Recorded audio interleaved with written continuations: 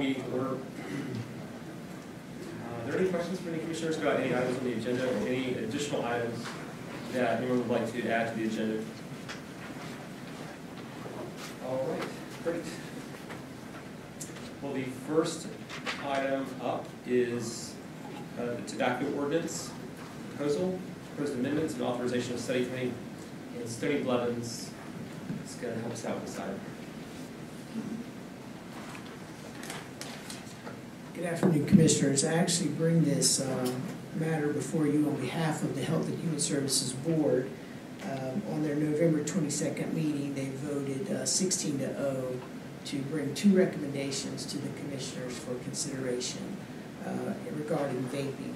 And you have some information there in the first paragraph of the letter just about some of the serious health concerns we're seeing around vaping uh, not just in North Carolina, but nationwide. We're seeing a rash of deaths, and uh, we've certainly seen folks hospitalized at Mission with serious complications related to vaping uh, over this last year.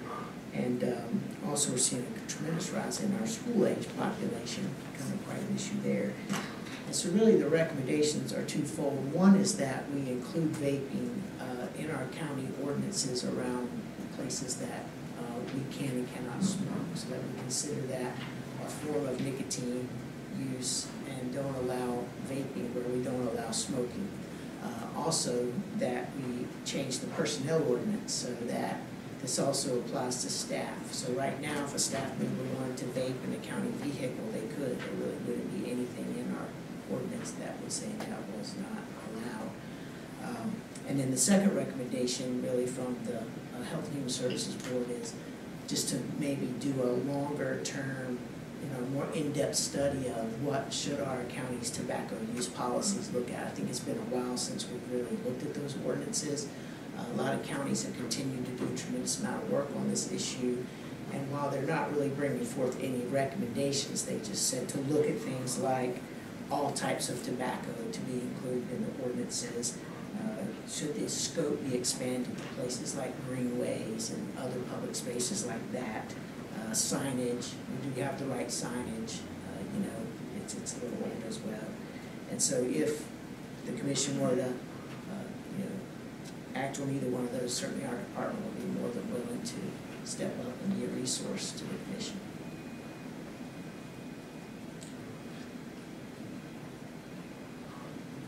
So if we, if we do something like this, do we have any, uh, uh, what do we provide, you know, for people that are vaping or smoking or whatever to be able to get off of that? Do we provide anything as a service or, We really don't. That's a really good question, I certainly wouldn't put myself out there as the vaping expert. I mean, it is a legal, I mean, it's a legal substance, just like cigarettes are a legal substance. It's just that, you know, when vaping first came out, it was actually seen as possibly a way to help you come off of cigarettes. And if you read the CDC website, they still suggest there's a small segment of the population where vaping might, actually might be a help to them. So if you're doing it correctly and as prescribed, it might be better for you than smoking a whole lot of cigarettes. What we're seeing is folks are vaping things that probably should not be going into their body. Uh, that's where we're seeing, I think, a lot these deaths. Certain chemicals are getting in their bodies. Uh, people are beginning to vape CBD oil. We see, uh, for a while, we thought that was the culprit for a lot of the hospitalizations because it was showing up in some of the toxicology. Um, so really, I think like for years, you know, you're- know, I grew up in North Carolina, everybody smoked when I was a kid, nobody knew it would hurt you when I was a little kid. And I think the more we learn, we realize that, you know, just hurt you, it'll kill you, and then secondhand smoke is dangerous. And I think we're just getting to the point where the research is really coming out, uh, you know, vaping, and so just really bring this forward really as a matter of, the- of the public's, you know, for the public's safety.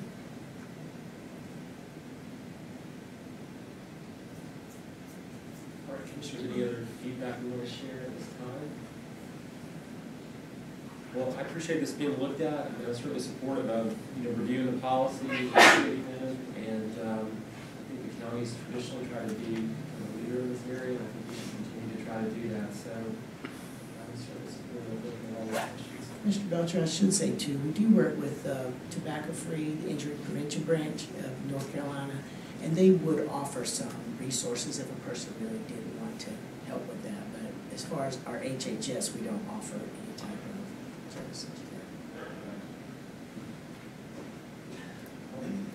Thank you, thank you very much. All right, next up, uh, we've got Josh O'Connor, who's gonna give us an update on the Greenway Master Plan and the Woodfin project. Brownie, it's hard to hear back here on both of you, and speaker and you all, it's hard to hear. All right, thanks, Jerry.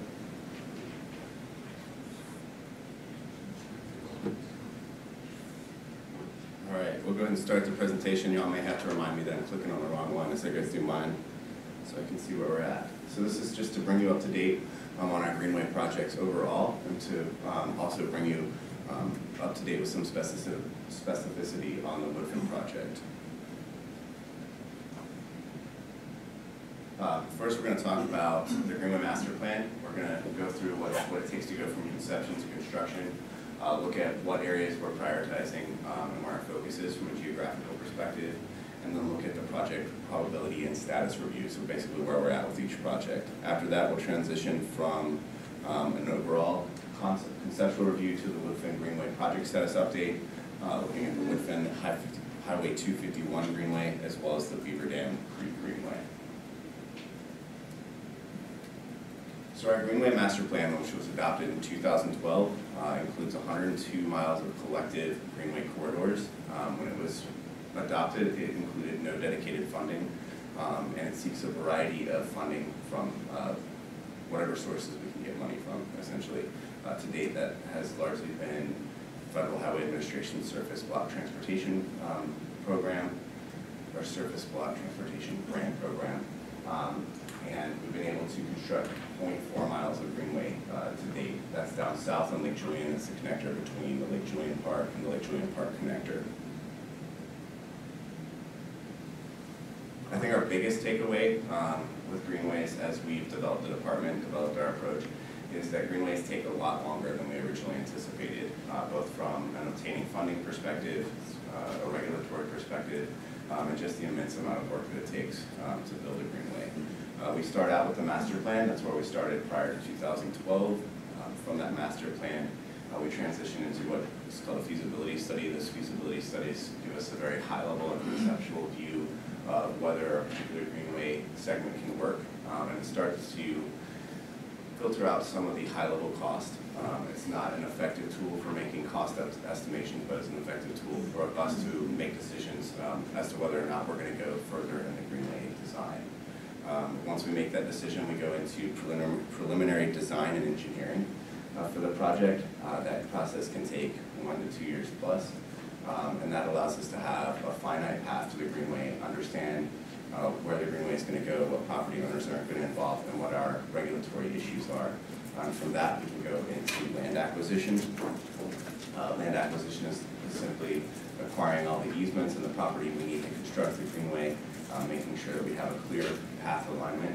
Uh, One thing to note there is that under uh, the original adoption of the Greenway Master Plan, one thing that we are restricted from using is the power combination to build a greenway segment. So uh, acquisition for us is an important step, and there are often times when we may have to go back to design and redesign a segment of the greenway uh, if we're not able to acquire property um, voluntarily from the property owner. Uh, Once we go from acquisition, we move to construction. Again, that process can take anywhere from a year to two years, depending on the length of greenway that we're looking at. Um, But then we can actually walk on the greenway. Uh, One thing that I tried to let the advocacy groups understand about greenways is even if someone were to give us a million dollars, two million dollars worth of cash, uh, it would still take that five to up to ten years to actually construct the greenway because of all the steps that we need to go through to do it.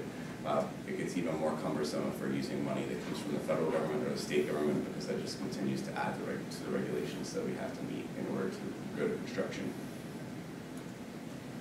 As we've laid out our approach to greenways, hundred and two miles is a lot of greenway to cover. Um, Very financially expensive and not altogether economically feasible uh, with our, we're trying to bite off so much at once. So we focused our greenway effort on the I-26 and French Broad corridor. Um, The largest reason for that is that gave us projects to focus on that would prioritize very well um, during grant uh, funding cycles. And it also allowed us to align with the efforts of other municipalities. So uh, by choosing the I-26 corridor, we were basically able to take our greenway efforts and go from the north and south uh, of the city of Asheville and connect into all their work on greenways, uh, which creates a, a longer um, contiguous stretch of greenway for our citizens to enjoy once it's fully realized.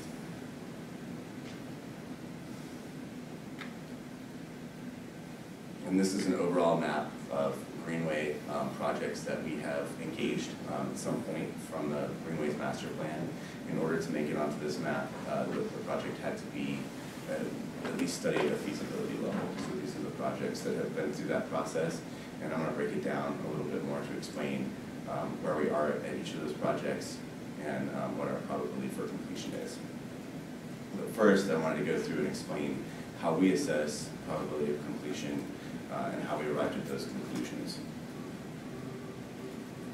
Uh, so something that's got a high probability, uh, probability of completion, uh, typically we have the funding source for the next phase identified. Um, it will make significant advances in our greenway system from an activity standpoint, uh, and we may be facing um, having to send some grant funds back um, because of prior agreements we've made. Uh, medium probability of completion, um, that means that we think we know where to get the funding from. Um, construction would interface with our larger greenway network, and we anticipate having to send funds back to a granting institution within five years. Low is that we've got no funding sources identified, our construction costs exceed um, our current budgetary capacity, and um, we don't have any pressure to have to send any funds back in the, in the near future. So these are our high probability um, of completion greenways that we've got. Um, I will start with the Enka Heritage Trail, um, since we're gonna spend more time on the other uh, segments, but the Enka Heritage Trail, uh, it's about a two-mile section out in Enka. It's part of the Enka Recreation Destination. It'll connect our work at the Buncombe County Sports Park uh, to the ongoing work at the Bopolis Ball Fields. Um, we currently have the request for qualifications and letter of interest issued for that uh, project. Um, and we've started receiving responses for it, and we expect to begin design in the first quarter of 2020 um, and um, have the, the engineer design by 2020. Um, any questions there? So you're just doing the, re- the request for qualifications for engineering services, Correct. not for construction services, so that'll be a separate process once the design is complete. Correct. And we anticipate this being um, a somewhat quicker um, completion timeline than we normally encounter because we're not dealing with a large number of landowners. We already have um, a pretty good understanding of the lay of the land and, and, and more in-depth feasibility study than we typically have, as well as some intermediary engineering. Um, the biggest constraint that we're gonna hit with Enka Heritage Trail is making sure that we've satisfied all the federal agencies and the requirements they have for uh, Corps engineers and FEMA. And we do also have some cultural resources in the area that we're gonna have to uh, take into account as well. But all of the right-of-ways in place for the project. As far as we understand now, that was an agreement um, as part of our approach to the Enka Recreation Destination and our partnership with Bob Lewis Ball Fields. All that's been executed. Uh, We need to do some further work on the west half of that trail. Remember, we did it approximately from us behind the school to about the bridge. Needed to get some more players at the table for the bridge over to near where it comes out, near the Ingalls side of that property, to complete that one. So the, um, all this, all of the land under the, uh, the, um, Martin Lewis partnership, that's all in place, but then beyond that, there might be additional. There's some additional players uh, to bring to the table on that. We don't anticipate a huge problem with that, but we need to make sure we get Army Corps approvals to put the greenway on top of that berm and to work with Dominion Gas to make sure that we have greenway on top of where they're putting that underground. So the landowner, the landowner agreements are in place, but there's some permitting stuff that will need to be gone through. A little bit of both on the west half. And part of that is just looking for that level of specificity um, in terms of what the actual layout will be of the greenway. We have it from a conceptual standpoint, um, but that's just putting a line on an aerial phot- photograph. Um, We're gonna be narrowing that down to where we can locate exactly where it's gonna go within a thirty-foot easement and what our additional construction needs are. um, at that time. We are looking to capture some synergies with um, some utility upgrades um, in that area, and that'll also influence some of our decision-making, um, which is a reason that we don't have it fully specified with landowner agreements in some of those areas. Okay, so my understanding is this was pretty much ready to go. And so that all the agreements were signed. I'm not talking about federal, I'm talking about everything's done. Everything's done and that we're, you know, we got our grants and we're gonna put the foot on the gas. And to me, this looked like an easy one to get done. I'm not, I'm not hearing that. No, I think this one is an easy one to get done, and it's just the stage that we usually assign agreements at, further along in design, so that we know that we're not gonna go back and sign agreements a second time. So when would construction start? Uh, we would be looking at twenty twenty-one. And we've, um, this project, we've been waiting for DOT to release the funding, um, in order to start design, and that's been one of our major holdups right now. The So- funding became available for the project in October, um, due to some funding slowdowns in NCDOT, we're not able to access the funding until next year. So what can we do to speed it up? Um, I think speeding it up is gonna come in how effectively we deal with the, the design and construction, um, process. When we have communicated with firms about how we're gonna handle, uh, requests for qualifications, we left it relatively open-ended in terms of our schedule and have let them know that we expect this to be, um, an expedited schedule, um, compared to what we would normally see with some of our Greenway projects. And this still has us, um, right now meeting our anticipated timelines for construction for our TDA grants.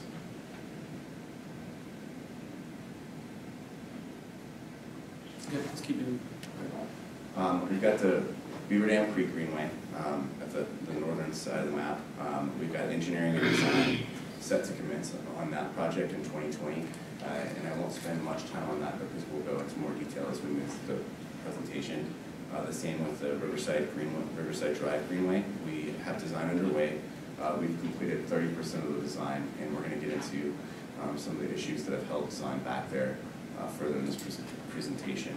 And then we have the RADTIP connector, which we spoke about at your last pre-meeting, and I believe it's on the agenda for tonight. Uh, and that's a project that will be transferred to the city of Asheville, but that's our connection into the city of Asheville's work through the River Arts District Transportation Improvement Project.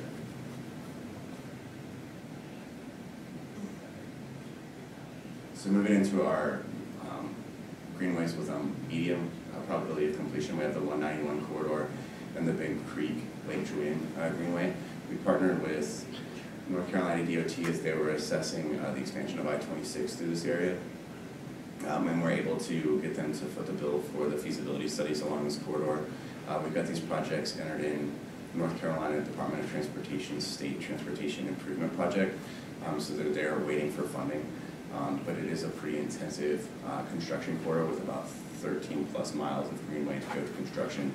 Um, So this is one where we've identified the basic needs uh, on the master plan level, and we know where we need to go with the greenway. Um, It's just we need to uh, find some funding, commit to funding, um, and move it forward. But it's sitting there on the back burner until we can advance some of our other high probability projects forward.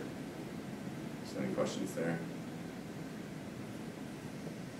And we've got two um, low probability greenways. Uh, One is the Reems Creek Greenway. Uh, We've actually advanced that to engineering and design. We're working on getting an RFQ issued. The reason that we have it as a low probability of construction is we do not have any funding identified for it. Um, It's largely within the town limits of Weaverville. So we'd be looking for um, some new funding partnerships to bring that greenway to construction. Uh, We are advancing it to design, so we'll have uh, further information about end cost. Uh, And we do have federal highway surface transportation block grant programs available um, to help us with that. But again, we don't have information or funding source identified for construction yet. And what's this site control, um, further right of way look like for this project? Is there, are there a lot of different property owners who would still need to agree to work on the project? Or are most of the property owners, or all of them conceptually in support of doing this? We've not started engagement, we have to be careful with how we engage property owners, um, because of some of the federal regulations out there. We, when we engage design, we will go to property owners that we feel like will be impacted and ask them to sign a letter of commitment. But at the end of the day, if we use federal funds, we also have to show that the, the landowner knew that they could achieve fair market value for the easement or the property. And so we typically wait to execute, um. Okay, so understanding that process, on this project, is that, uh, is the, um, right-of-way for the easement seen as, you know, likely to be, uh, fairly doable or quite a challenge? I mean, I guess the reason I ask is that for these, uh, a lot of these projects where you've got a lot of different landowners who need to all agree, and maybe there's some workarounds if someone doesn't, I mean, to me, it just seems like a huge potential barrier and for some of the projects, and so I'm just kind of wondering, is that viewed as probably not a big challenge on this one, or could be, could be a significant challenge if there was, you know, funding to actually go, go forward? I put it in moderate, you're not dealing with okay. a lot of property owners, there are some larger parcels in there. Okay. Um, probably less than moderate, I mean, um, you're also building right next to the creek, which is gonna have a lot of undevelopable or undesirable property. So in contexts like that, it's a little bit easier to navigate the easements, um, and right away. Um, we do have some room in the project to move the alignment if we need to. Um, we're not as constrained on other projects, so this one's not gonna be as hemmed in as some of the projects that are, like the Woodfin project, um, that have other constraints that are feeding into it. And then the, the US seventy Greenway, um, this actually overlaps with the Fonta Flora Trail, the commission approved to, um, overlap our greenway system with the Fonta Flora State Trail several years ago. Um, it's an effort that we're pursuing, but it's also a pretty expensive effort, given how much land that we're looking at, um, in Buncombe County for that trail to traver- traverse. We're looking at about sixteen miles of trail, uh, if we follow the current alignment. So it's there, we're looking for funding. Uh, we're also looking at how we can break that greenway down further into more digestible chunks. Um, but given the, uh, scope of that greenway and, um, the magnitude of that greenway, it's, it's not risen to a high priority. So now I'm gonna bring it back around with a little bit of information about the Woodfin project and its current status. So the Woodfin Greenway um, collectively is five miles of greenway. Um, It's currently programmed in two projects, one for the Beaver Dam Creek Greenway and one for the Riverside Drive slash two fifty-one Greenway. Um, Each segment was part of our Greenway Master Plan in two thousand twelve. It was also part of Woodfin's Greenway Master Plan in two thousand eleven. Um, I've got some more detailed information on that Riverside Drive Greenway. Uh, it's a three-mile, um, corridor. We anticipate the cost of construction to now be around two point five million dollars a mile. Um, that's what our current regional average, uh, is, is going for. Um, we anticipate it to be through with design already, but this project is kind of, um, drug out due to some regulatory issues and trying to secure some of the, the easements and right-of-way, uh, which we have moved forward with. Um, but we did encounter some constraints that, that delayed that project more heavily than we anticipated. Uh, we currently have, uh, grant funding total for this project of three point six six million. Three million, uh, is for the construction of the greenway, uh, six hundred and sixty thousand is for the design, and I'll break those figures down a little bit, um, as there are some figures, uh, that involve county matches as well. Um, we do have some ter- terrain difficulties as we go through there, I think we've identified, um, over hundred and fifty plus, um, stream outfalls where we have pipes going, um, across the embankment out into the, the stream. So that's something that we're gonna have to mitigate as we're constructing the greenway, um, find out what those sources are. Um, and we also, um, are pinched in between the river, a railway, and a roadway, and, um, in places that gets pretty challenging in terms of where we're gonna put the greenway. This funding is a collective project between the town of Woodfin, Buncombe County, and we've received funding for the TA that I'll break down in just a second. So any questions on the overview there?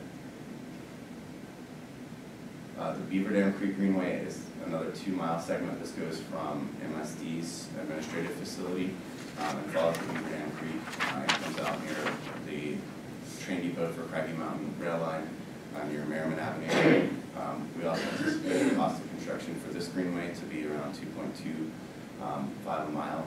Uh, We've secured, right now, we have two million dollars for construction secure. We also have some additional funding um, for design that we anticipate receiving. That, that figure is about two hundred and twenty thousand for the design. You said Beaver Dam, you're estimating the cost is two mil, two million dollars a mile for building a greenway? Two point five. And that's, um, that's based on looking at projects and cost overruns, um, around the region. Um, Originally, years ago when we started, we were told a million dollars a mile, and pretty much every greenway project that every municipality has encountered has doubled that, that project cost, if not more. Are you estimating that for the, um, project in, um, in the uh, Candler project as well? Yes, um, that one's fortunate because we are dealing with, um, fewer landowners and we may be able to capture some of those synergies with utilities, um, where we can go straight over the top of existing utility right-of-ways, and that's not something that we have available in some of these other projects. If we can do that, it dramatically decreases our cost of design and construction because we're dealing with a more level pad that we can start from. It just, you know, I mean, it just intuitively seems like project through, um, but you're you're saying that's the average, we're just assuming for every mile, it's not specific, I mean, um, just intuitively, like, building the project through that kind of urbanized, tight footprint in Woodfin along the river, I mean, I can just see how that would be really complicated, uh, for a bunch of different reasons, but these, um, projects like this one are kind of more out in the country, I don't know, it just seems like they would, vary- I can see how the cost would vary wide, wi- you know, widely between different projects. Is that how you anticipate it'll play out? Or, I mean, some might be quite a bit less, some might be quite a bit more, just depending on exactly what you have to, engineer. Yeah, and one of the historic problems with building greenways in this area is, is underestimating what's underground. Um, that's, that's always been an issue, is once you start digging, um, you might find little cars, um, any amount of landfills. And we are running through some of that stuff with Beaver Dam Creek, where we anticipate we're gonna hit some segments of that. Um, we also have a rail line that runs parallel to the greenway, we're running next to a creek, and we're running, um, pre-adjacent to some old landfill area, so, um, we don't wanna back down those costs too much because we may be dealing with some brownfield remediation.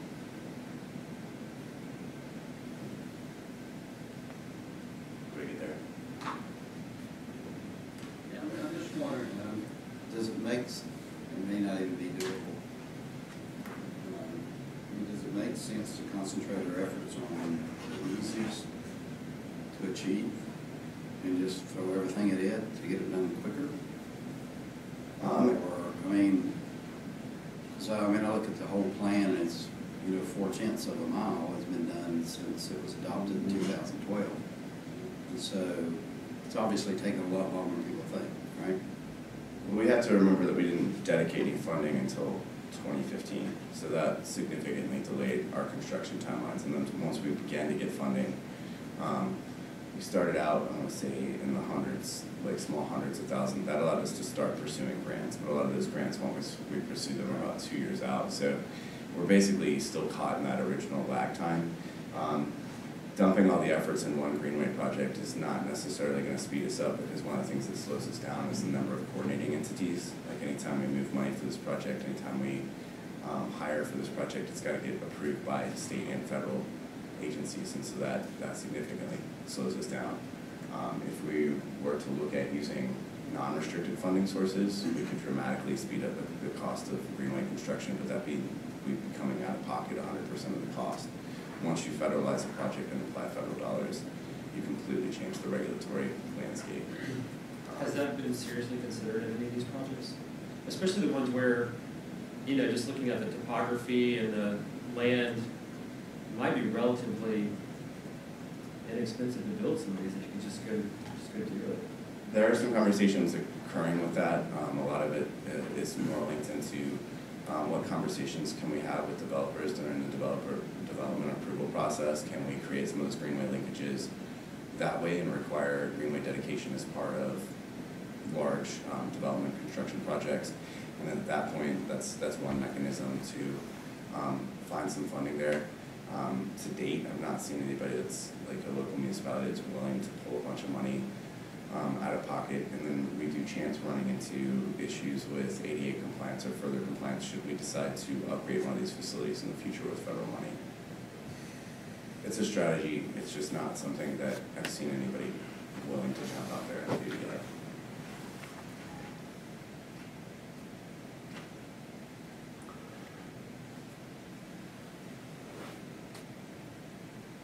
So this is the collective um, map of this greenway um, in a little bit more detail. The brown segment to the north is the Beaver Dam Creek Greenway that's running east to west. And then that transfers to uh, the Woodland Greenway that runs parallel to the river and Riverside Drive. The reason this is why we use federal funding is we started out with a one point one three million dollar local funding commitment um, for both design and construction. Uh, we partnered with FHWA, uh, that brought in four point five three million, uh, for a total of five point six six million on the total project.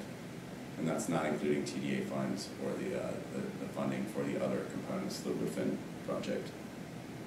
Is that for all the greenways or one? That's for one, that's for the Woodfin Greenway. I'm sorry, maybe Mr. Brendan's general, I think you said there's three point six million in funds for this project. The three point six million is for Riverside Drive, the other two million is for the Beaver Dam Creek, so collectively for the two greenways, which are all part of the same project, there's five points. Okay, five point six is for Beaver Dam and alongside the river. Yes. Between the county and the FHWA, but that doesn't count the town of Woodfin and it doesn't count the TDA. Correct. So there's actually like, a when you add it all up, there's a, there's a lot of money project, Uh. I think we, it's around twelve. About $5 million. And I just got some, um, shots of some of the stuff that we're trying to work with in the area.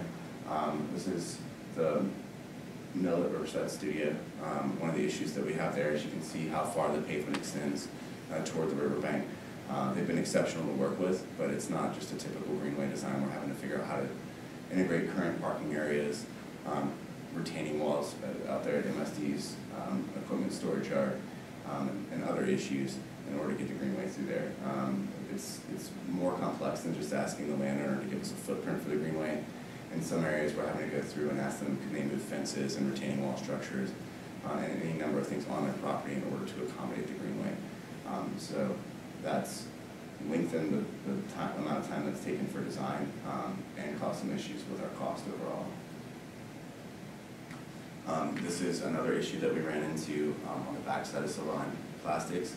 Um, we have a Duke transmission line that typically they won't allow us to be within thirty feet of their poles.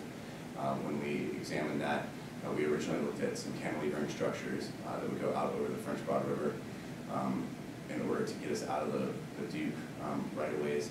And after looking at the cost, and assessing the cost, we were able to go back with Duke and ask them for some exceptions, um, which they've been willing to work with us on to, to be able to put the, the greenways closer to those poles. Um, it's not without, it's some additional design costs and some fencing structures and some other things that we have to do. Um, but working through solutions like this have dramatically increased our design cost. Um, hopefully, in, um, allowing us to reduce our construction cost in the long run. Um, this is an, an option that once we were able to navigate this, took a significant amount of time, um, but also saved us a couple million dollars from not having to cantilever a greenway design over the French Broad, uh, and has a better, um, environmental and ecological impact as well. So Duke has, has Duke has formally agreed to let us use a, have a right of way underneath the, or within the, the utility transmission line easement? Formally, not on paper, but formally they committed to that, um, in the last on-site meeting that we had with town representatives and Duke representatives. it's just a, it's kind of a verbal agreement at this point. Correct. And it's all, um, it's a, a three-way agreement with Silverline Plastics as well, because they've got to make some concessions where, uh, where they're allowing us to site that greenway. Now, these are the other, uh, design considerations, there's, uh, how close we are to the rail line, the power line, the road, um, and the train line. Fortunately, Craggy Mountain Rail Line is not a conventional rail line, it's one that's privately owned, we've been able to work with them, um, to get us closer than we would typically be to a rail line, um, because we've got a lot more certainty on what's gonna be operating on that rail line and how often. Um, but there are spots without those agreements that we wouldn't be able to, to get the greenway through without having to re, do some.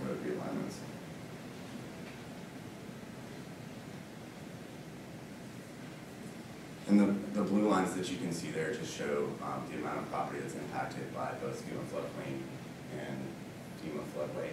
Um, one of the things that drives costs on a project like this is since we can't just move the project out of the floodway, we're having to do no-rise studies and additional engineering studies to show that the greenway is not gonna have, um, an impact on Asheville's overall flooding. And that's just a more in-depth view of the connection between Woodfin, uh, taking us through uh, Montford down into the River Arts District.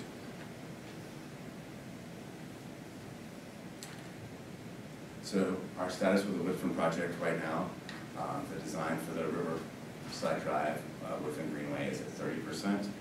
Um, the project is part of a larger destination project similar to what we organized with Enka Recreation, Recreation Destination.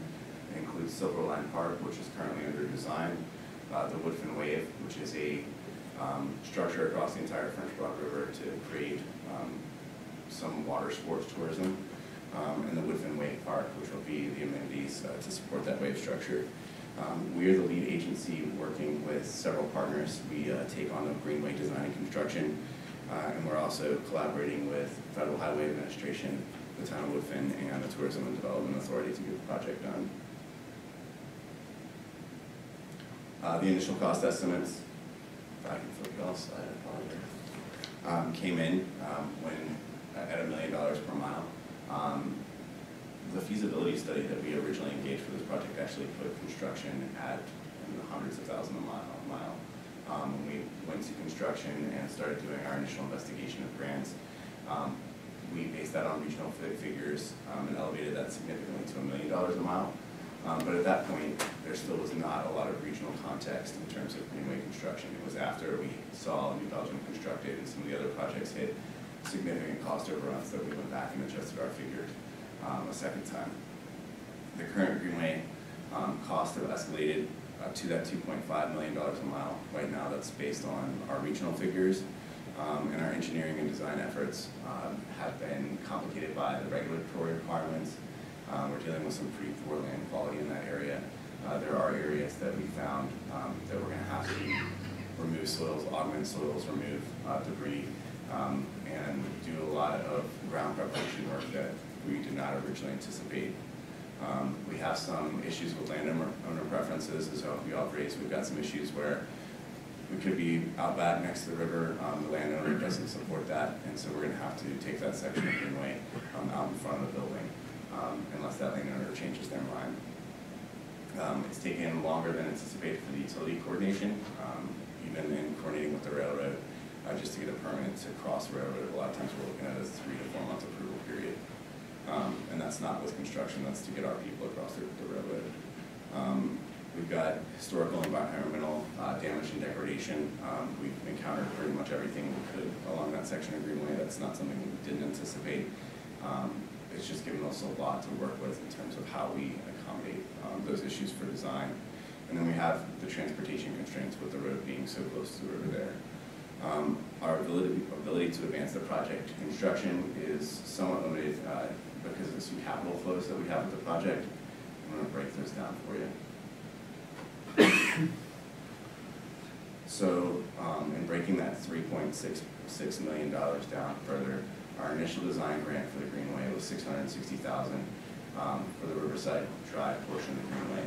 Um, I think there's been a conception that that was our budget for the project, and the reality was the six hundred and sixty thousand dollars was how much that we could get from FHWA when we made the application, um, and maxing that application out.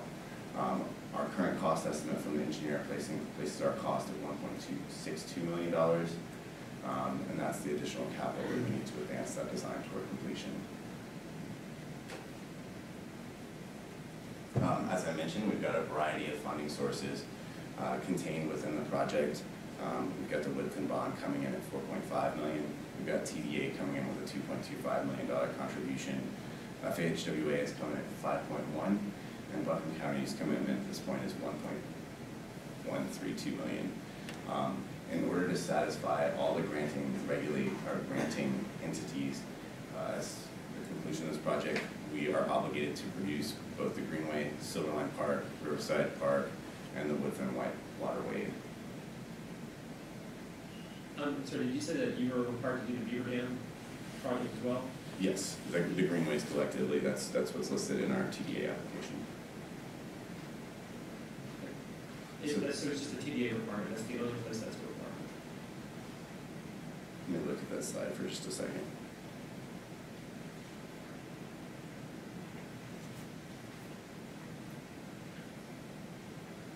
That's our only requirement. I believe it was listed in the Woodfin bond, but that's not a requirement that extends to us. On the bond referendum, that was listed as a project? Or The the greenways were listed as part of the bond referendum, but that's not something that. that's not a legal obligation, it's. Correct. It was kind of identified as all the projects they hope to get done as part of their local funding. Correct, and we are third party to that, so it's not an obligation that we are obligated for. So it's not a TDA requirement, it's a bond requirement. It is a TDA. It is a TDA. It is a TDA. Because all of those was lumped together in one ask from the TDA. Correct, and in order to get TDA approval, they want to see more of a destination concept, and so all of those components were listed as deliverables for the TDA grant. So the Woodfin project cost, I've got it broken down for the Riverside Greenway. Um, our original design money was hundred and thirty-two thousand. Um, county commitment, that got us five hundred and twenty-eight thousand. Federal money for a total of six hundred and sixty-six thousand, or six hundred and sixty thousand for design. Our current estimated design cost sits at one point six one seven um, million dollars, so we've got a major deviation there. Our current construction um, obligation in terms of Buncombe County's paying in is six hundred thousand, and we'll get two point four million dollars from the FHWA for a total of a three million dollar uh, construction budget, um, which is clearly less than the two point five million dollars a mile that we need. Um, Our estimated construction cost at this point exceeds um, six million. Um, For Beaver Dam Creek Greenway, we currently don't have any design money invested from Buncombe County. Uh, We do have two hundred and twenty thousand dollars pending from the FHWA for design of that greenway. Um, Four hundred thousand dollars uh, for county commitment to construction and one point six million dollars for FHWA's commitment to construction for a total of $2 million construction.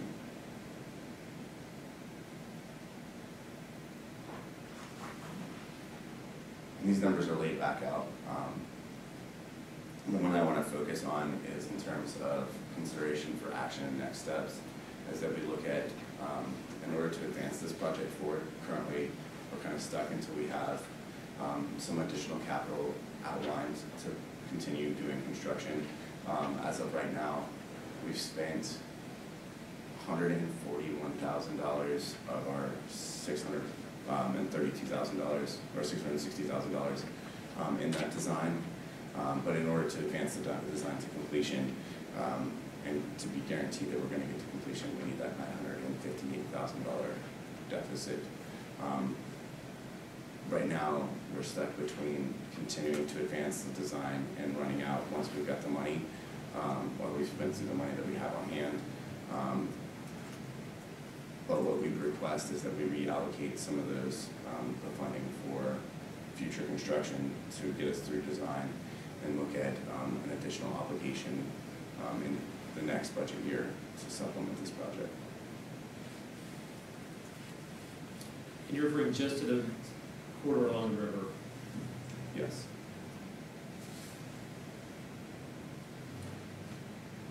So, and what would the additional amount be in this, the, in the next budget that would be requested? It's gonna be nine hundred fifty-eight thousand. Nine- nine- okay, nine- But doing it that way allows us to continue work on the project now and continue advancing it toward design instead of having to wait until the budget year. Mm.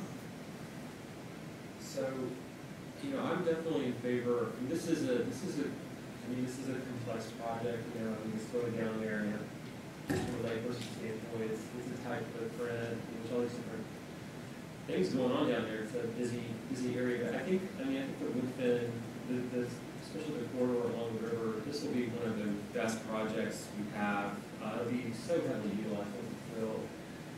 Um, I'm definitely in favor of doing what we can to continue the design process on it. Um, you know, including shifting some money from, from construction to design on this project, but I guess I would also just, um, kind of raise the question, I mean, I, I like the idea that we're planning some other things that are further out, but just in thinking about this, I mean, I think there's also just, just need to get some of these done, right? So if there's, if there's funding allocated for other to me, this is, you know, the project in Enka, which I think is gonna be on a faster track, hopefully. rel- Nothing's easy, right, but it should be relatively easy, relatively easy. So, so hopefully that one comes in, maybe it comes in less, less costly than what's typical because of the topography. I mean, I would also be open to redirecting some resources from other projects to just make sure this one's, this one's getting done. So, So I'm kind of in a similar way, um, I think, you know, tonight we're gonna, we're gonna vote on something else that, you know, is a million dollars more. You know, and that's, that's stuff we gotta explain to everybody, it's not directed to you, it's just directed in general, I understand what you're doing. Um, But also think that when, you know, when you're in a community, you hear all the good news about what's happening, and you get excited about it, kids get excited about it, and you don't want them to, you know, grow up on you before it's done.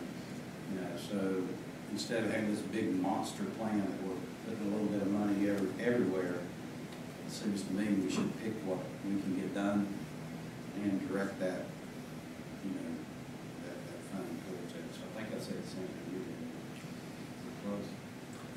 Yeah, I mean, these are all great corridors, and we're just seeing all happen, but I just, there is, um, and I hear you, some of these, uh, decisions that are with other agencies, not us, all the money will not necessarily speed us up, so I, I totally get that, but I would be supportive of, you know, focusing our resources in the ways that we can to help get our, you know, our top priority projects advanced as fast as they possibly can. I think the biggest constraint there is that we're, when you look at Greenway investment, like off the cuff, we've got about twenty-one million dollars in federal highway grants coming down.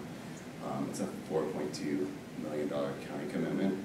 So even reallocating those is not gonna get us the capital funding that we need in order to advance the projects. We're using so much external funding, um, compared to such a small proportion of county funding. And that just kind of extends how long it takes us to get access to the capital. Yeah, I, I hear that. I hear that our percentage is small relative to that, but also just, I mean, if all these projects play out on the cost that you have, I mean, these other projects aren't gonna, are not gonna get done, right? For the very reasons you just explained, there's not enough money to do them in the foreseeable future. So I realize like our money is, is not the biggest driver in this, but it sounds like, you know, uh, we're gonna need to put in more. We wanna see some of them done realistically, so I'd be, and I'm open to that. I'm, I'm very supportive of these projects moving ahead. Yeah? It sounds like if we did do some redirecting, we'd have to talk to TDA about like, hey, would you be open to some of your money coming over here so we can get this one done? Um, I bet that, I bet they'd be open to that conversation, because they want to see things get done too. And They understand some of these projects end up being more complicated and expensive than originally, uh, when you first look at them. Um, but anyway, so I'm, I think, I think we'd have to talk to some of the partners too about maybe, would they be open to that as well? Uh, as well as maybe also just put- not only changing the funding, but maybe putting in more, more money too. I mean, so, might have all those conversations. I it's something that we're looking at beyond Buncombe County at a regional level, because we're not the first ones to hit an issue like this with federal funding. Um, pretty much every Greenway project that I know of that's using these funding streams is hitting the same thing. So what can we do to build in opportunities for overages and higher contingencies? Well, the- I mean, the projects down on the, on the riverfront in Asheville ran into a bunch of these cost overruns. But to their credit, to their credit, you know, they, they take a lot of heat for different things in the community, but to their credit, the TDA stepped in and just enabled four million more dollars. Here's four million more dollars, because we want to see these projects happen, and I think these, these projects we're working on in Woodfin are, are very, are very similar. I mean, every, everyone knows they're gonna be great when they're done, and they're, they're hard, so, See, I- you know, for me, shoot, you know, um, I mean, I vote for all of them. You know, how passionate I am about in I mean, you know, I got a long history on that. I drive by that thing every day, you know, and the Ingles is across the street from know, so I run into people all the time asking about that. Can't hear you back here, Joe. I run into people all the time asking about that. And, uh, you know, once we get over the hurdle of voting to invest taxpayer dollars, um, I'd like to see us take a, a same draw, you know, drill down on the, on the, Enka, you know, really specifics on what we can do to just speed along. Because it's part of the Buncombe County Sports Park, and I guess that's coming along, you know, pretty good. You know, the lights that went up out there, there's, there's some, there's some things that, you know, that we're seeing out there. And, um, it'd be, it'd be really good for us to be able to, you know, when somebody asks when something's gonna happen, to try to give a shot at giving the answer to that, even though it's very complicated. Um, What's the federal dollars on just the Greenway, the trail portion in Enka Do you remember? If not, you can bring it back to us. six million, it's four point eight, um, federal and one point eight, one point two. One point two from us, Yeah, four point eight from them, and then from six federal, million. six million from TDA. Yes, so So twelve million.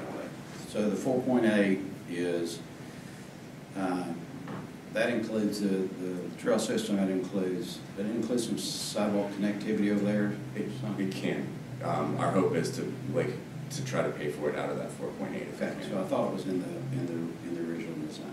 Yes, And so, anyhow, whatever we can do to have a, you know, a gathering and accelerate some of this, you know, I would be very, I would be for, and I will ask Max to put the one slide, just one bullet point that I think, um, is on that last slide, um, covers that. Um, just that last slide, in order to make sure that y'all understand where this is going and y'all maintain, um, an understanding of where we're at with these greenway projects, they are complex, they do take a while to get through. Um, we're including greenway projects in the comprehensive, um, CIP, uh, for twenty twenty-one, um, which will include, uh, funding requests that you understand the complete design and construction costs as we know it at that time, and we'll have a better picture of that moving forward. I do have one question. Um, is there an update on the, um, the Black Mountain project? Um, they, I know that they, There's Within the town limits that they were, you know, working on, I think, we'll just, is there an update on that one? Yeah, I believe our total funding allocation for that one was four hundred thousand dollars over three years. Um, that project's moving forward. They hit, um, two major issues. One was a railroad trestle that they were having to go under, and then the second was going under, um, Highway nine there. And I believe they've actually, um, come back with some designs that are gonna be much more advantageous than they originally pictured, but it's just back up and going federal and state approvals for that. Okay. But Black Mountain is the lead on design and implementation, we're just contributing some funds. Correct. It's, sounds, sounds like they're doing it, that's great. Correct. All right, commissioners, any other questions or feedback for, for now? Josh, anything else you wanna share with us, or anything else, uh? I'm sure I'll be back, but thank you all for your time today. hey, appreciate the update, appreciate everyone's work with us. All right, um, next up is uh, Rachel Nygaard, who will be talking about the strategic partnership. I'm sorry, next up is the Greenways Committee, still on that, that's us. All right, so commissioners, uh, as we talked about at our last meeting, we need to decide who is going to interview. So, um, I think, you know, because there's a ton of applicants, twenty-five total, we interviewed all, we, we need to take probably a whole day to do it. Um, so it's still gonna be pretty time consuming, but I'm hoping we can maybe, um, all right, but just to refresh our memory, how many positions did we ultimately appoint? Nine. What are we for each district? Yeah, so we need to, we need to select nine, kind of hoping maybe we can interview, I don't know, thirteen, fourteen, fifteen, something like that. Um, so one, one suggestion would be that we can just kind of go around, each person nominate like one person, we'll see how many come out of the first round, 'cause I think we'll have a lot of overlap is my hunch. And then we could go around again, everyone nominate your second person, see how many we have, and see if like, we're starting to feel good about our pool of applicants, or are there other folks that people really, really want to have interviewed, so that was gonna be my suggestion, is go down one at a time, nominate someone, and then do it again and see how many we have, and then we can do a third round if we don't have enough applicants, or there's others that we really wanna talk to. Does that sound like a good process? Um, Maybe we get Commissioner Fryar to fill that out and put it in the budget. yeah, we can, uh, we can ask him for his input as well. All right, um, can we start on your side, Amanda, and just go down? Sure. Um, my first recommendation is Ann Babcock.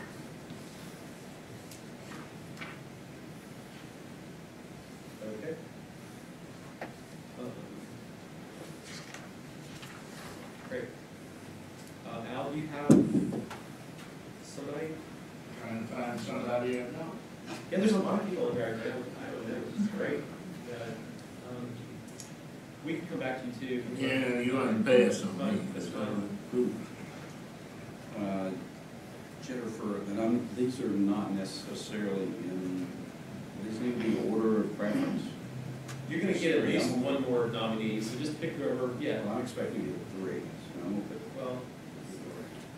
I gotta get three. Because uh, these people I want to interview, Jennifer Boudin. Probably butchered the name, but that's,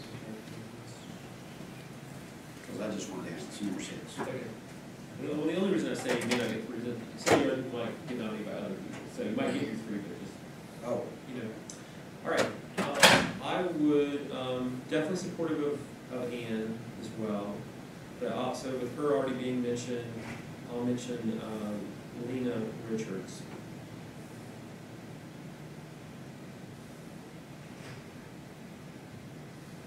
Okay, um, Jasmine? Uh, Susan Lee?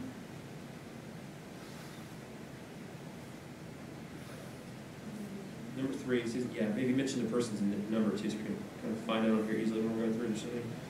Uh, Robert, do you have a suggestion? Yes, uh, Teresa Williams, twenty-five. Thank you.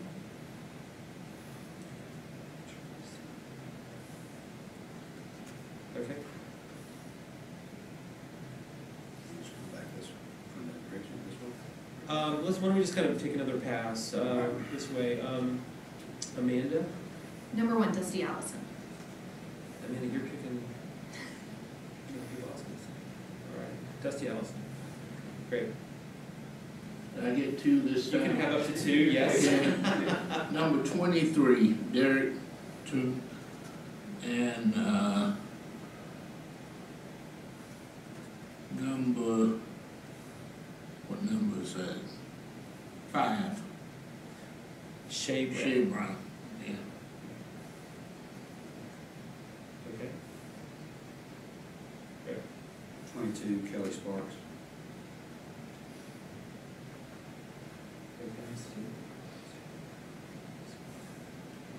All right, we're at nine so far. Um, I'm gonna, um, I'm gonna suggest, actually, I'm gonna hold off for now, I'm gonna see who else gets mentioned from our other commissioners. Uh, Eric Commissioner.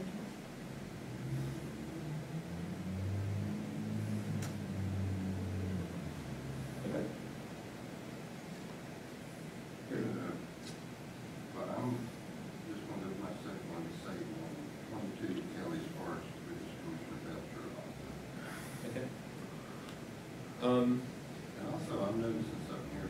Turn your mics on up there. Uh, We're really loading up District Three there, have you noticed that? okay. Yeah, that's the old district, you may or not. Yeah, Is but this two the eight eight district or six, two Uh, eight That's seven a one good question. five. Are the districts that are listed here, that's the current district configuration, is that correct, Lamar, not the uh, future elections map? I bet it is, because this is probably all created prior to the, Well, we mentioned the one in this place. I will actually defer to Josh. If Josh has that information, I don't want to give the incorrect answer to that. Josh, do you know, so the districts that are listed here where the folks reside, those are delineated by the districts that exist today, not the new districts that will go into effect in uh, subsequent election cycles. Is that right? These are the current district That's boundaries. correct. Okay, Well, yeah. well, just remember, remember, these are for interviews. When we get finished, we have to select nine, so we don't need to select nine today. No, no, we need a few more than nine. You need more than that. Yeah, Yeah. um, okay. So, um, we currently have one, two, three, four, five, six, seven, eight, nine, ten. I, I, and I wonder, um, yeah, I wasn't keeping track of how many we have from each district while we're doing this. Um, we need a few more, so why don't, I'm just gonna go again, Yeah, and if people need haven't, you know, some other people. We need one more pass. So is, there- are we, are we clearly de- deficient in a certain district where we need to be? No, no, read the names off, I'll give you the district. Okay, let's see, um, Ann Babcock Two. is two, Jennifer Three. Grubenick is three, Lena Richards, three, Susan Bean, one, One. Teresa Williams, Three. Dusty Allison, one, Derek Turno, one, Shay Brown, one. Kelly Sparks, three, Actually, Eric Ernst.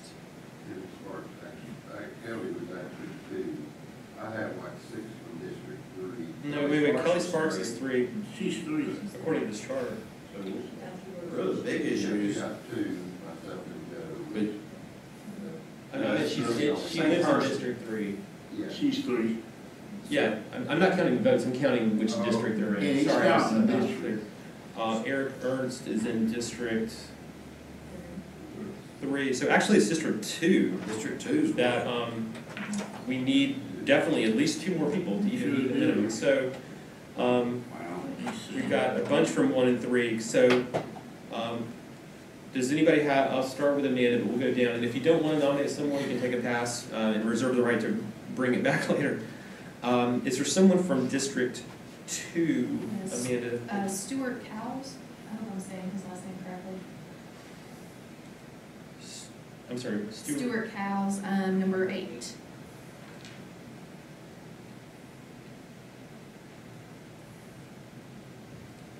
Okay, That's and- who I was okay, um, So you said you, Al or Joe, do y'all have another number two?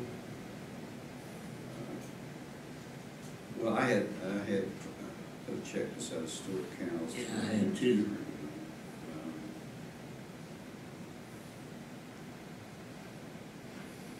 Let me check one, I'll tell you. this What about, uh, Let me check seventeen. Cole? Yeah. What about Philip Cole from District Two? He's, uh, number seven. No, it says Fletcher, is he in, is he, well, it says District Two though, is he in the Buncombe County He's not in District Two. part Well, of? There is a section of Fletcher in the, in the current old district too. Okay, so Lamar, he is uh, a resident of Buncombe County. Correct. Okay. Bowles? Philip Code. Hmm, What is Lantern Resources? I'm gonna get her to find out. We're all about. What is Lantern Resources?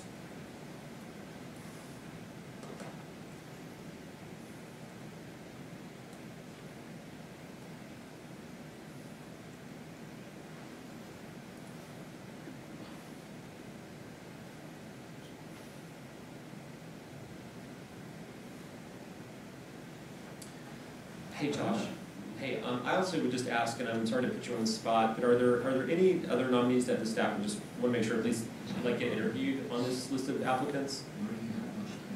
And you can think about that for a minute if, if you'd like to, but if there's, I think we're kind of getting near the, near the list, but we we do need a few more. If there's anybody you feel like we ought to interview, feel free to, feel free to throw, throw. I would, I would probably take that guy on the list because he wants to create a kudzu free zone. His name, Asheville's a kudzu free zone. I don't find that, it's just on its application. It's impossible. It is impossible. Okay. Um, Okay. So there was somebody else from District Two that we needed to look at to see whether we. Yeah, I'll just open it up to any uh, Yeah. Samuel Mason, let me. Samuel Mason's What number number is he? one. He's number one. Is he?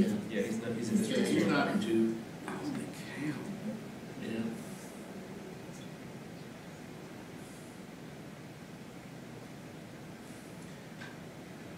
Well, you got, how many you got from District Two? We have two.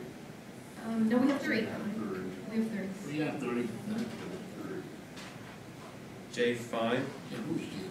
Are you, are you, he's not currently on the list, are you suggesting putting him on the list? I'm fine with that. Yeah, I have Okay, two. Jay Fine? Okay, so we're now at one, two, three, four, five, six, seven, eight, nine, ten, eleven. We're at twelve. Um, we have a sufficient number from each district. From one and three, we have additional members. Um, Some of these could end up in District Two. I think some of these threes could end up in two. You know, for the, just to, for the sake of, you know, uh, decision-making on this, my suggestion is that for this initial round, we are working under the assumption that the districts are the districts as they exist today, right? Like in the, in the future, you know, when reappointments are happening, years in the future, I think we'll wanna keep the, keep the policy of And, and we may need to, we'll, you know, we'll just, just like elections, like the elections will be different in the future, but for now, I think we should just keep it based on the lines that exist today. Otherwise, this could get really messy. Um, anybody else? If there's anybody else that someone really, and we could wait, we could see who Commissioner Fryar wants to suggest. If he has one or two, then we're probably in the right neighborhood of, uh, interviewees, and we can always interview more. Um, Josh, anything to add? No, I was looking through the list, I think you, you covered one of the ones I've been asked by staff to get to. I'll add simulation. If y'all will look at it, look at his uh, resume, you'll, you'll want him on the list too. Okay. All right, We Could end up he's another District One. Yeah, he's, uh, Uh, all right, well, very good. Uh, I am one, Which I think it's gonna be in District Two now, uh, Lester. Turn your mic on, Robert. Lester, Le- Lester's one, Um, that's another district, This is three. Ally Howell District. now. So where is this? He lives in Lester.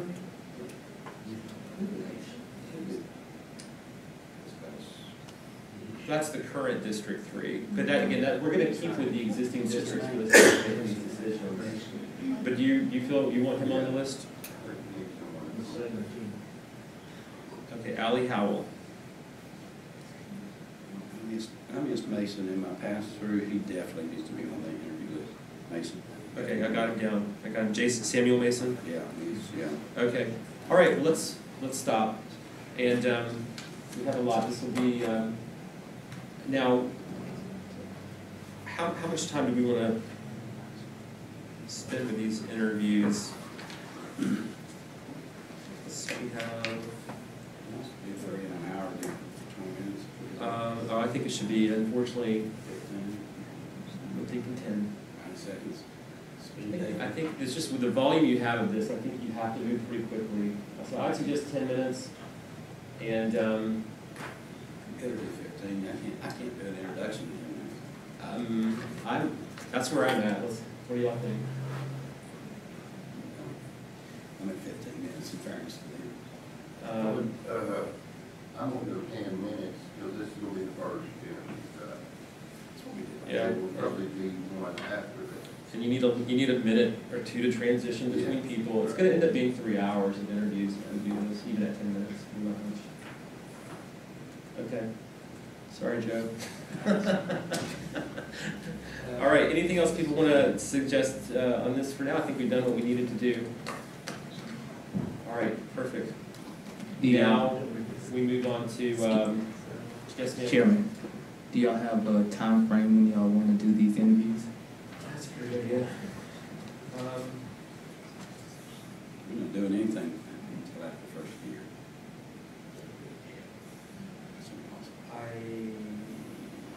I, I would just like to let these applicants know that their consideration for first meeting interview. of the year is on Tuesday the seventh.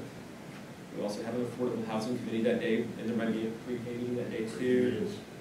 Um, I would suggest we not do it on that day, because it's just gonna be too much. Um, I think we should probably call a special meeting sometime in the first two weeks of the year.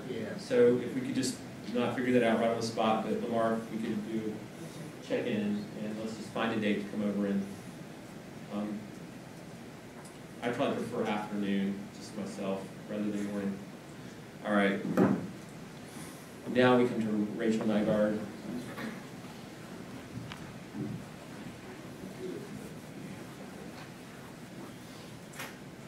Good afternoon. Good afternoon. I am here to update you about strategic partnership grants, and there are two pieces. One of them is about appointing the new committee.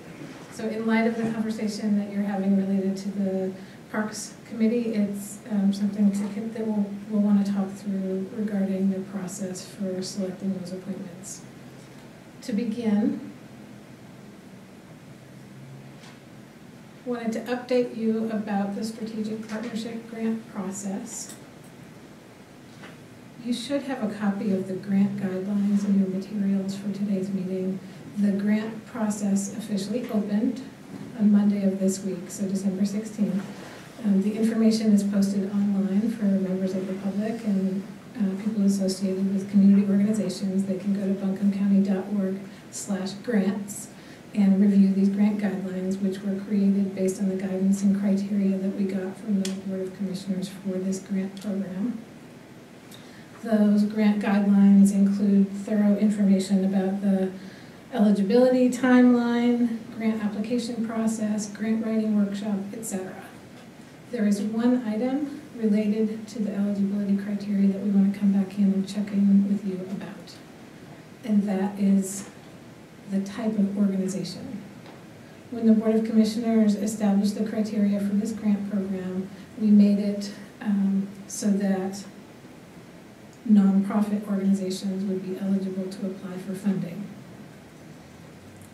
The question is, would we like for public organizations to also be eligible to apply? I know that there's been some conversation between members of the board and with the manager about potential eligibility for a governmental organization to be able to make application to Buncombe County for funding for a community project through this avenue. If, if the board would like to take that up for consideration, we can bring a uh, marked up version of those grant guidelines on the agenda for your next regular meeting, which would be January seventh, to vote on. Which would just simply say that public agencies are also eligible. It would, Which And- could be, they would essentially have, I was thinking, the timeline, would- the, the, um, grant applications are due in mid-February, on February fourteenth. So, um, those public organizations would have, um, okay. roughly a month or five weeks to, to get that application in. Okay, Sure, keep going. Is there interest in putting that on your agenda for January seventh? Well, maybe just to kind of like, you know, at first blush, you might, might kind of think, you know, that doesn't seem like what this is about, but, um, just as a reminder of what we currently do, right, and maybe some of the rationale behind that, so we think about that before maybe, um, making a decision. Currently, um, currently we fund, it's a small amount of money, we fund the HRC, right, because that is a jointly appointed board by the city council and the county commission, and the scope of that board is countywide. There's probably more things they deal with in the city, but they do have a countywide mission, that's my understanding. That's accurate, that's the Historic Resources Commission. There's forty-five hundred dollars, I think, in the strategic partnership grants currently that goes to the city of Asheville for that city-county work. With the rationale being that, you know, it shouldn't fall solely on the city, this is something we do together. So that's the rationale for that. And then on the, um, on the, um, nature center, you know, the, the city used to charge a lower rate, like, this is a subsidized operation, right? Like, it costs the city half a million dollars a year, or whatever the current amount is, to run the nature center. So since they put a lot of taxpayer money from their jurisdiction into it, they gave a discounted rate to city residents to attend. But then I think some commissioners were like, well, how come it costs more for county residents to go than the city?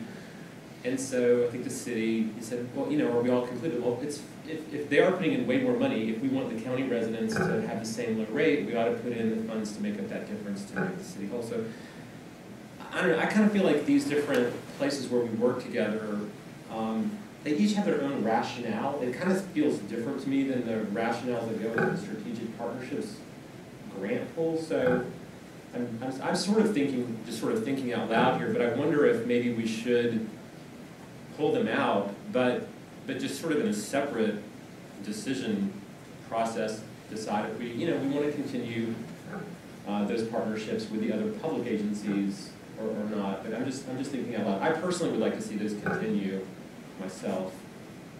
So I'm gonna jump, jump on the nature center, I'm a big fan, you know, everybody in my neighborhood goes to nature center, and uh, taxpayers from all over the county go to the nature center.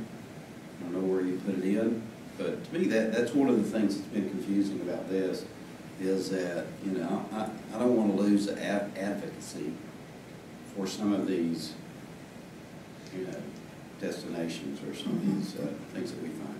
Whether the city funds or we fund them, I mean, people in the city pay county taxes. And, uh, and there's some things that make sense for us to do together. Nature Center is one of them. We lost the Health Adventure. No way we need to lose this one. Uh, Nature Center is a, is a good place for folks to go. So I don't know where it, yeah, where, it- where it lands, but it needs to, Lance somewhere. County Manager, you got any thoughts on? Before you continue, I'd like to jump in and just add one clarification, um, with permission. The Friends of the WNC Nature Center is a nonprofit organization. That funding is provided through a nonprofit organization, and they are still eligible to apply as currently structured. Please continue.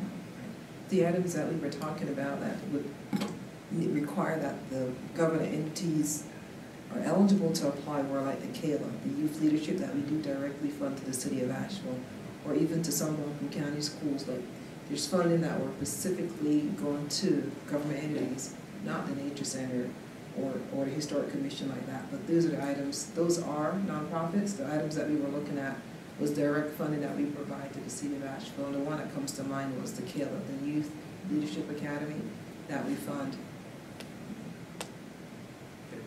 When we funded the nature center in the past to make up for the, uh, you know, the uh, charging city residents less than county residents, did that go to the Friends Group or to the city? Yes, to the Friends of the Nature Center.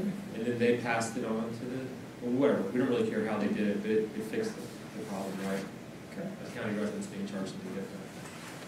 I mean, is it, is it the best way to, to deliver that money to the Friends of Nature Center or for that to, to go somewhere else? That is how we help to fund that. We haven't thought about partnering with the city on that, that was true, was truly to the nature center, and that was our direct support to the nature center. So that wasn't one that we were talking about here in the government entities. Okay.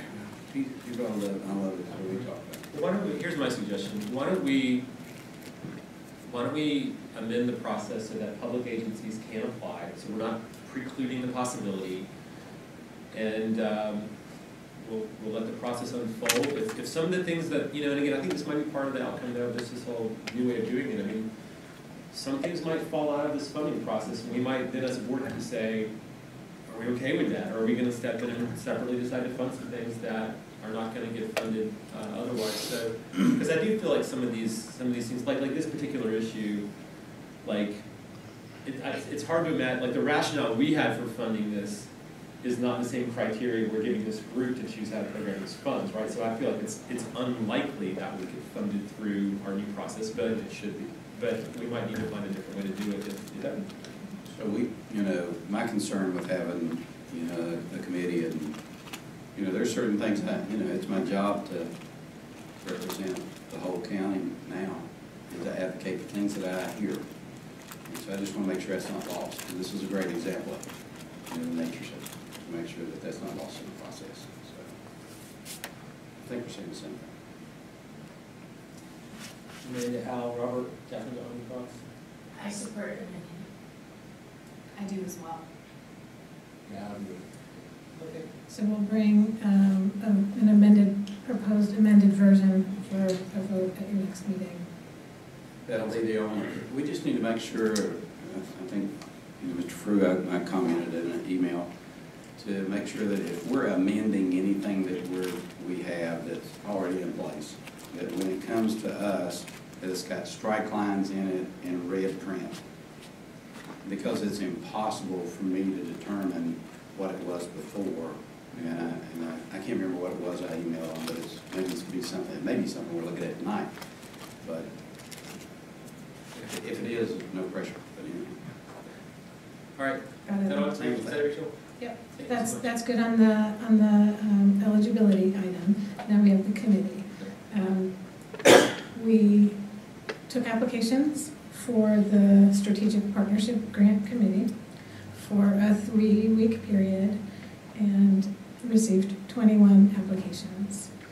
Those applications um, are being compiled by staff currently. We reached out to the applicants um, in the first couple of days this week, gathering some additional info from them and clarifying around connection to nonprofit organizations, um, so that we make sure that we have full and complete information about um, their background and their expertise when we bring this to you.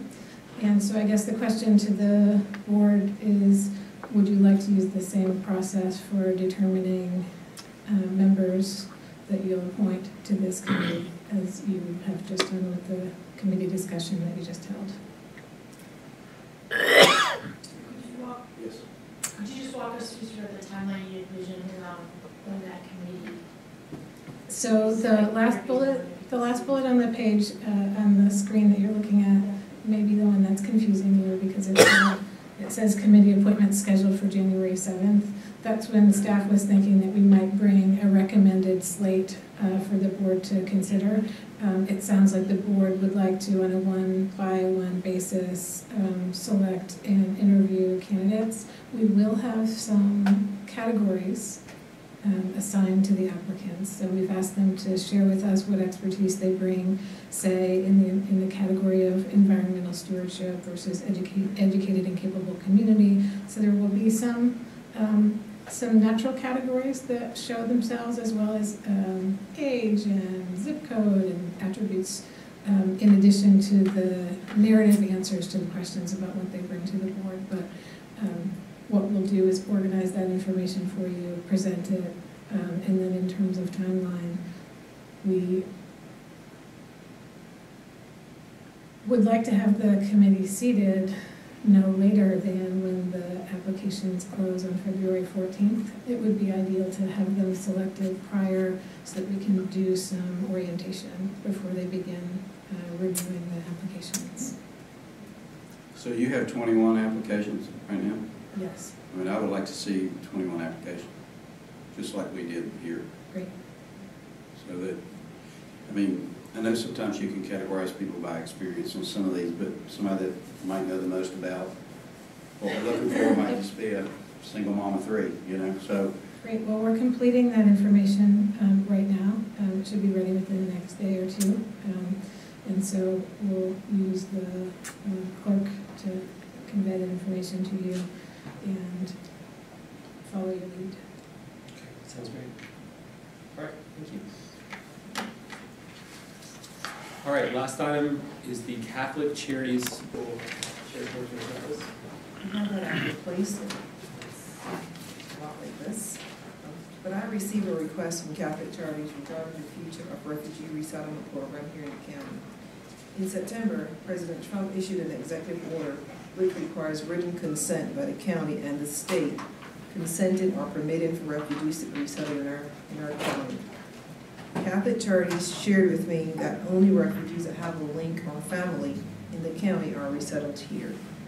But the question before you today is to discuss whether or not we would consider signing a consent to allow refugees to resettle here. I do have Ms. Sandra Buck in the audience with us, she's from the diocese, and she's here that she can assist in answering any questions you have about resettlement, the resettlement program. Thank you, Ms. Pinder. And um, I'd invite you if you would just maybe share a few thoughts with us about this. This is, uh, this is not a process that local governments in the past have This is you know, been invited to have input on. So a just, new it's kind of a new. procedure. So you've never had to do it before because it's a brand new procedure. So we've been resettling refugees uh, for about 40 years. Um, I'm based out of Charlotte, but um, people have been coming here, actually, I think it was um, World Relief that used to resettle refugees here years ago. And we have an office in Asheville, and so we've got a case coordinator there who is actually a former refugee from Russia who works with these families. And we now have a remote placement program where we actually resettle directly into the Asheville area. Uh, we've resettled about three hundred refugees here in the last three years. Uh, the majority of them are placed in Buncombe County because they're coming here to join their family that already lives here. Um, the, the consent process is brand new, um, and what we're required to do is get the governor and the chief executive officer of every county where we place refugees to sign a consent saying that it's okay to continue doing that. Thank you so much.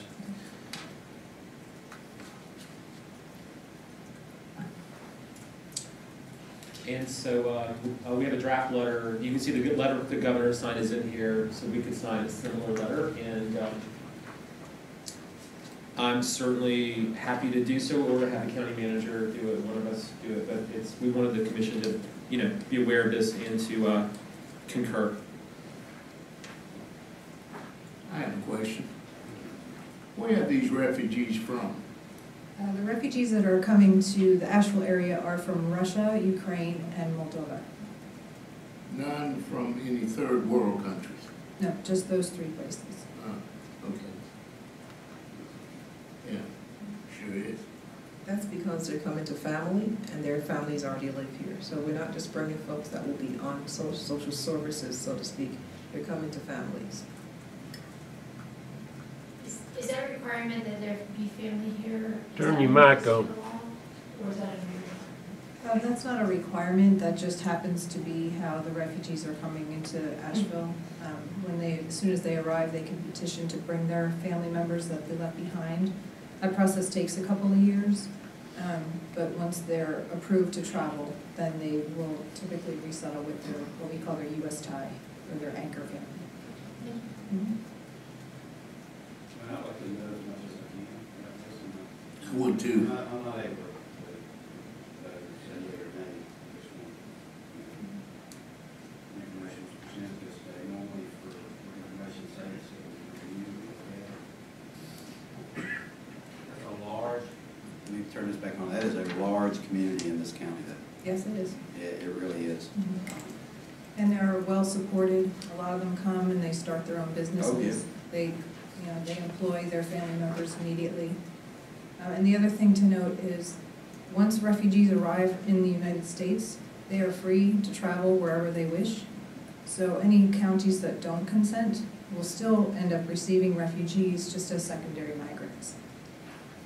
It's just a lot harder for us to provide the services if we're not, if they're not in the county with their family. Thank you for the work that y'all do. Is there a timeline by which we would need to make a decision on this? My national has requested consent by the end of the year. Um, The deadline's been pushed back by the State Department, but the uh, nine national organizations that resettle refugees are all submitting their proposals for next year at the- at- in- sometime in the middle of January, and are hoping to be able to report with their proposal how many consents they've received. Uh, well, thank you for the, um, thank you for the information. It sounds like we should schedule this for commission vote at the first meeting, uh, in January, which is on January, the, um, January seventh, first Tuesday of the month. So we'll plan on having it on the agenda to make a, make a decision that evening. Um, and if commissioners have any other questions, or if there's additional information that can be provi- provided to us, uh, please send that Feel along. free to reach out to me, I can answer whatever questions that you have. Okay, great. Um, Commissioners, any other questions for now? But because it does sound like we need to make a decision at that meeting, if you do have additional questions, please do bring them to the county manager and we'll work, we'll work with the organization to make sure you get any information you need between now and then. All right? Okay, Thank you so much for being here, appreciate it. Thanks for having me. All right, that's everything we had on our agenda. So if there's no other items, I think we're adjourned. We'll be back at five o'clock for the meeting.